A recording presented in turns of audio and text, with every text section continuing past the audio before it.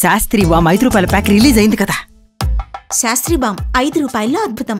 చావుని ఇంత భయపడ్డానికి జనం ప్రజలు ఇన్ జనరల్ సగటున చచ్చిపోవడం అంటే అమ్మో చచ్చిపోతా ఉంటారు.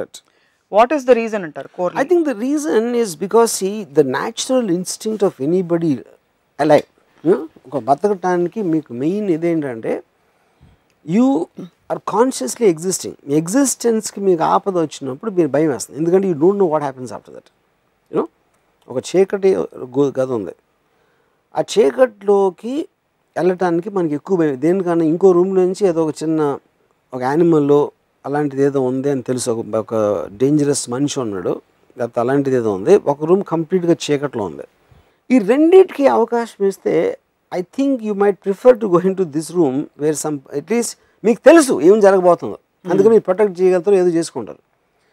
చీకటి అనేది యూ గెట్ వెరీ స్కేర్డ్ ఎందుకంటే మీకు తెలియదు ఏంటో. Because and people are scared of the unknown much more than the known no matter known ఎంత పవర్ఫుల్ అయినా కూడా అన్నోన్ ఎలిమెంట్ అంటే ఫియర్ ఉంటుంది and death is the most unknown because you don't know what happens after death don't feel life is the most unknown life is known ఎందుకంటే you have certain parameters parameters మీరు పొద్దున్న లేసారు ఇది చేశారు అది tiffin తిన్నారు ఇది చేశారు ఎవరితో కొట్టుకున్నారు జాబ్కి ఇలాంటి రకరకాలు అవుతూ ఉంటాయి రాత్రి నిద్రపోయే వరకు డెత్ అని తెలియదు you just don't know what happens after that ఇంకోటి ఏంటి చాలాసార్లు ఇదిగో డెత్ అయిపోయిన తర్వాత యాక్చువల్గా మీకు ఎంత ఇష్టమైన ఒక పర్సన్ చచ్చిపోతే మీకు ఎంతో ప్రేమ ఉండొచ్చు ఆ పర్సన్ అంటే ఆ పర్సన్ మళ్ళీ తిరిగి వచ్చిందంటే మీకు భయం వేస్తుంది.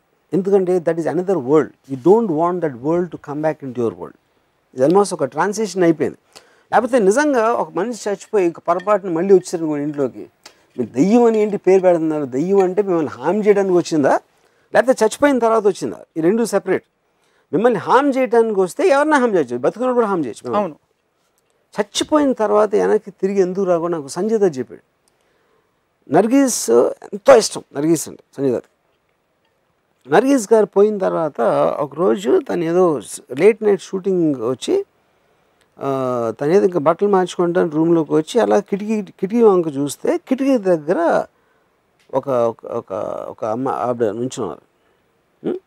And feel and he thought it was Nargis Nargis చచ్చిపోయిన ఒక మూడు సంవత్సరాలుగా ఏదో జరిగింది ఇది.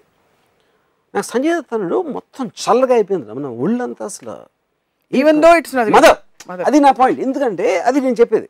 మదర్ అరే మదర్ తిరిగి వచ్చిందని ఆనందపడి వెళ్ళి కౌగులించుకోవాలి కదా. యాక్చువల్గా చూస్తే చచ్చిపోయినా కూడా తిరిగి వచ్చేసింది. ఏదో ఒక మిరేకల్ జరిగింది. ఎవరో దేవుడు నన్ను నా మీద కనికరించి పంపించాడా అని అనుకోవాలి అసలు యాక్చువల్గా. కానీ the the reality is will get scared to death. ఎందుకంటే. అది వేరే ప్రపంచం unknown you don't know what happens